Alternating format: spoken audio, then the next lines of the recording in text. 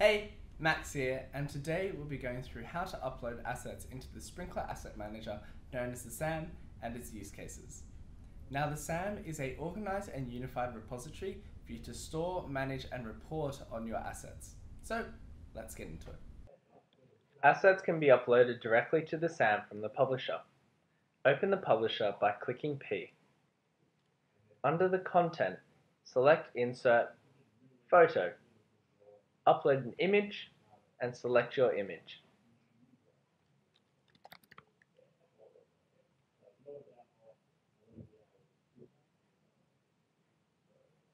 Click Import to Asset Manager and save.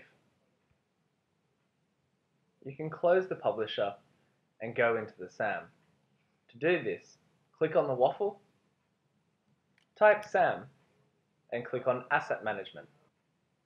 Now you can view your asset in the Asset Manager. Alternatively, you can add an asset directly from the SAM. Click Add Asset. For this example, we want to add a text template and we'll go Simple Text. This template will be for a website crash, so we'll name it Sale Website Crash. The content is the text that you want to display to the recipient. For this example, we'll type this. Now as this is a crisis response, set the status to approved. The status of pre-approved content is not only useful for crisis responses, but answers to generalist inquiries that require a uniform response. Now set an expiry.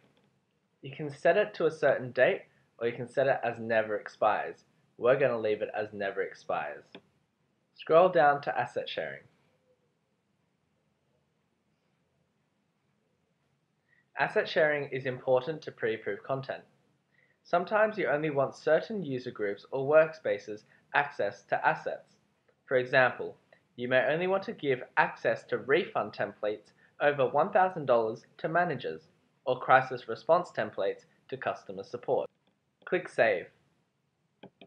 Your asset is now in the Asset Manager. This text template can be used from the publisher. Simply open the publisher, click Insert, Text Template, and select the given text template. Now a similar process can be used to engage with posts. Go to your relevant engagement dashboard, find a comment, and reply using a text template.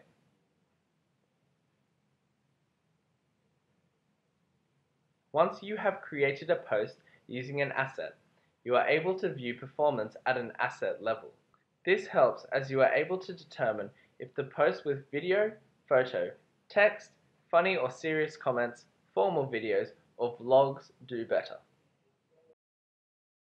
Double click on an asset and view the overview, statistics, activity, and posts. We hope you found that video useful. If you have any questions, chuck them in the comments below. Otherwise, we'll catch you next week for more Sprinklr tips and tricks. Bye!